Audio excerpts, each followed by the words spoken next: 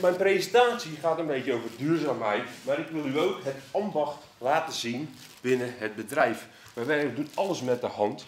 Een enkele veelmachine komt eraan te pas, maar vooral het ambacht van het zalmroken, maar ook van het fileren van zo'n kabeljauw wil ik u laten zien.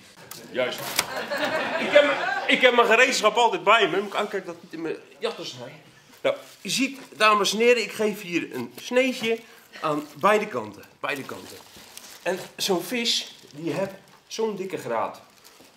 Hier bij die kraatman. dus die had dan iemand vast zo, dan was het kraak.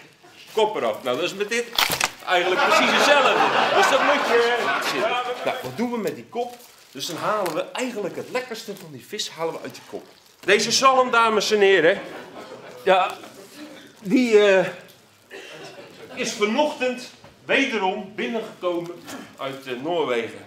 Wat we gaan doen, ik snij hem even, even in. En dan doen we die uh, bovenkant, die, bo een beetje donker hier, die bovenkant, die snijden we eigenlijk altijd als sashimi. Sashimi.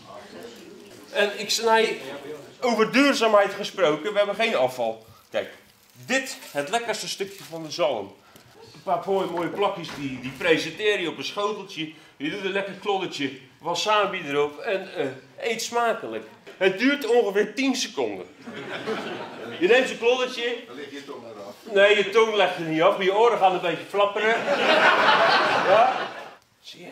Grof, grof zout. Zet hem helemaal in zout zo. Nou, doe het gewoon even voor dat u een beetje beeld krijgt. Daarom zei ik net, ik had u liever mee naar de visafslag en naar ons bedrijf genomen. En dan gaat hij in de rookkast. Ja.